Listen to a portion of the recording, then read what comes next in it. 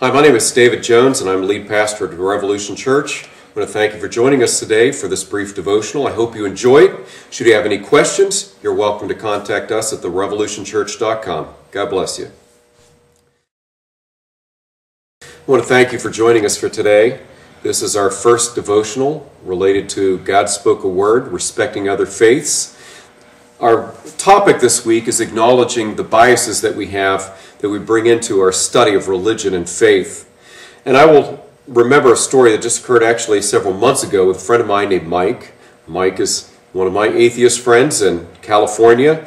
And he was, of course, giving me a hard time about being a person of faith and believing in God, and just said, You know, you people of religion create all the problems in the world. You folks have done all this destruction. Look at all the evil things that you have done. And certainly on the surface, if you take a look at some things, we have done a lot of damage. We have created wars. We have created circumstances where there have been oppression.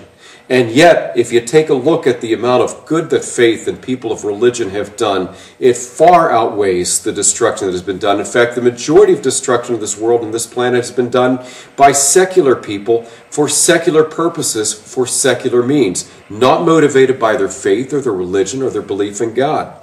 Let me just tell you a statistic that was uh, given to me by a man named Samir Simonovich. Samir Simonovich, Simonovich is a uh, atheist and he was studying all the reasons why he should hate religion and ended up coming to the opposite conclusion that there's a tremendous amount of respect in religion. In fact, this man now worships every single Sunday in a church, not because he believes there's a God. He wishes he could believe that there's a God, but because he believes that the church and religion in general passes on things of value that are important to people, that transforms their lives. But as in his research, one of the things that he found is that people of faith, people who claim to have a relationship with God, double, double the number of people give to charity, and almost three times the number of people believe in God volunteer their times. When they do give, they give three and a half times the amount of money to charity than people who do not have a faith or a relationship with God, and they volunteer more than twice the number of hours per year of their time. This is how I think God transforms our lives. Yes, you can be moral without God. Yes, you can be a good person without believing that there's a God in the heavens who created everything that is.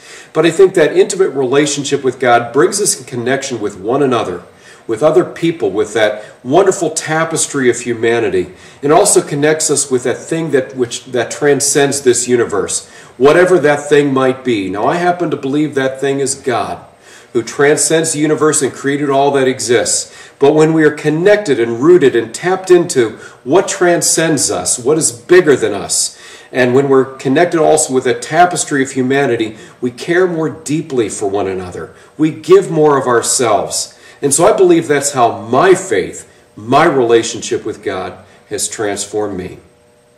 God bless you.